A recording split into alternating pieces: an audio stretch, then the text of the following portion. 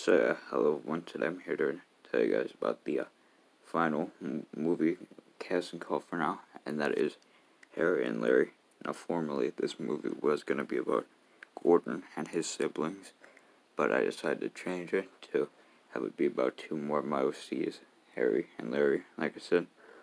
Now, basically, for this, I'll be Harry, even though I'm not usually Harry, but I decided that I'll be him for this one time.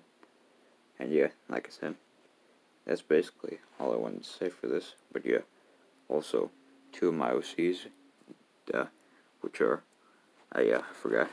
Actually, I think only one, and that is Daniel won't be appearing in this. Well, not this movie, but yeah, another movie he'll be in. Since I do have two more movies planned, but yeah, I might be in them then. But yeah, but yeah, that's basically all I wanted to say for this. So yeah. Anyways, yeah, thanks for watching, and yeah. Bye, everyone. Bye.